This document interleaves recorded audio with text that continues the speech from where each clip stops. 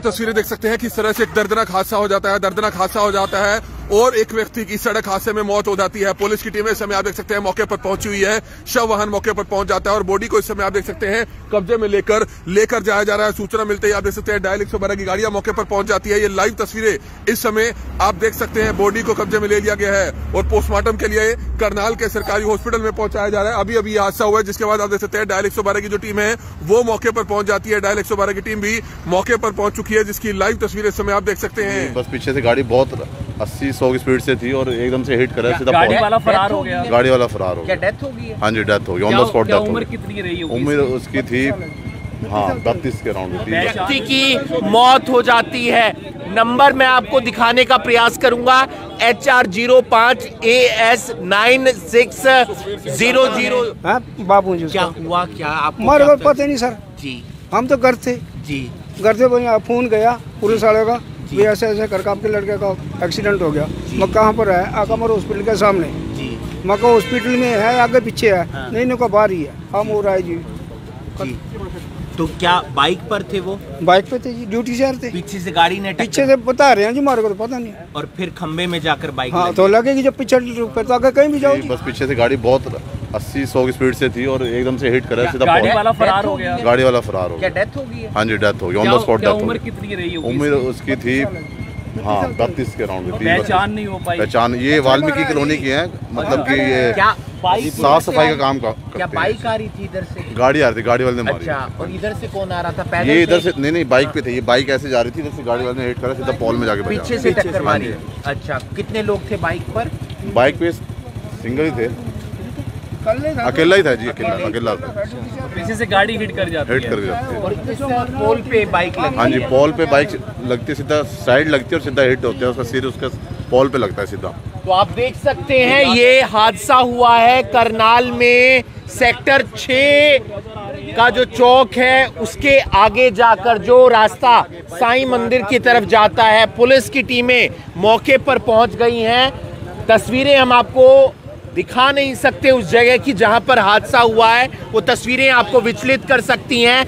एक व्यक्ति की मौत बताई जा रही है। दरअसल हुआ क्या है? यहाँ से गाड़ी आ रही थी और आगे एक बाइक जा रही थी और इस बाइक को पीछे से टक्कर लगती है और जब टक्कर लगती है, जो व्यक्ति इस बाइक पर सवार था वो खंबे में जाकर भिड़ता है और मौके पर ही उस व्यक्ति की मौत हो जाती है।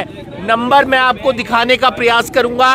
एच आर ज़ीरो पाँच A S nine six zero zero Sukhbir Singh ji हमारे साथ हैं। जाँच अधिकारी हैं उनसे जान लेते हैं कैसे हादसा हुआ क्या हादसा हुआ। सूचना ये मिली थी जी कोई खंबे में टकरा गया जी? और हम यहाँ आए हैं वो मौके पर शायद डेड हो चुके हैं फिर भी हॉस्पिटल पर पहुँचवाया है। वो उसका कुछ जान प्राण बच रहे हो? क्या उम्र क्या बताई जा रही बाइक कर्मचारी है इसने ये। उम्र उम्र कितनी होगी आपका लड़का है क्या? कार ने हिट किया पीछे से। क्या नाम लड़के का? पुनीत पुनीत कार ने हिट किया पीछे से ऐसा बताया जा रहा है। नहीं मारे को तो ये सूचना मिली भी खंबे में टकरा गया है। बाकी अब देखेंगे मौके पे काफ़ी ब्लीडिंग हो गई थी। नहीं वो हाँ, भाई साहब कह रहे हैं अभी पीछे से कार ने साइड मारी है खंबे में टकराया आप पिता हैं? हाँ? बाबू जी क्या हुआ क्या आपको क्या को पता नहीं सर। जी। हम तो घर थे। जी। घर से भैया फ़ोन गया पुलिस वाले का। भी ऐसे ऐसे करके आपके लड़के का एक्सीडेंट हो गया। मैं कहाँ पर है? आकामर हॉस्पिटल के सामने।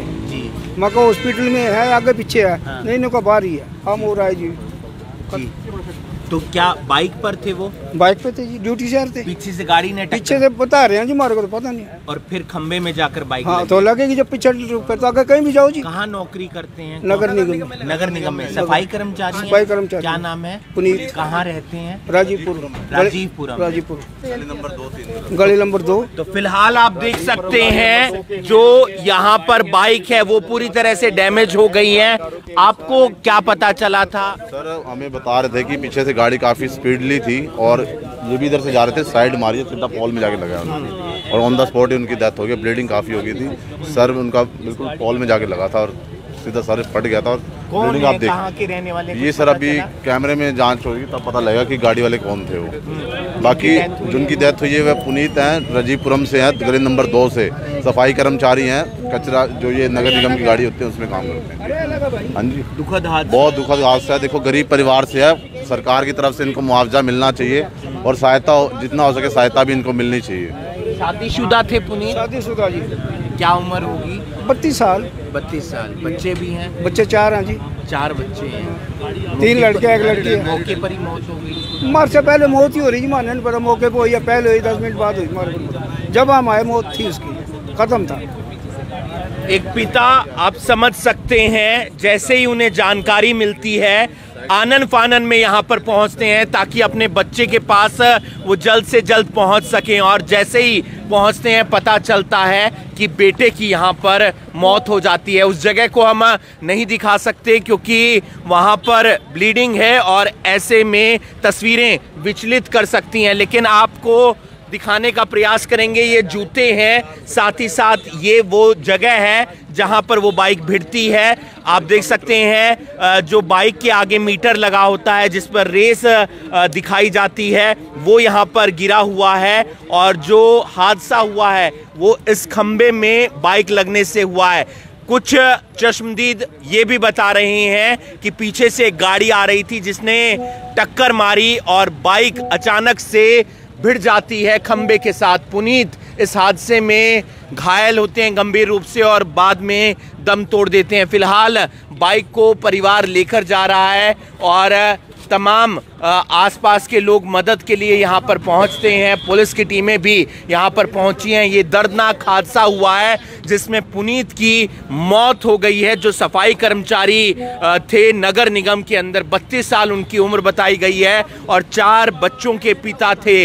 चार बच्चों के पिता और समझ सकते हैं, ज़िम्मेदारी परिवार की उन्हीं के कंधों पर थी और ऐसे में चार बच्चों के पिता दम तोड़ देते हैं। फ़िलहाल पुलिस मौके पर है, शव को पोस्टमार्टम हाउस लेकर जाया गया है।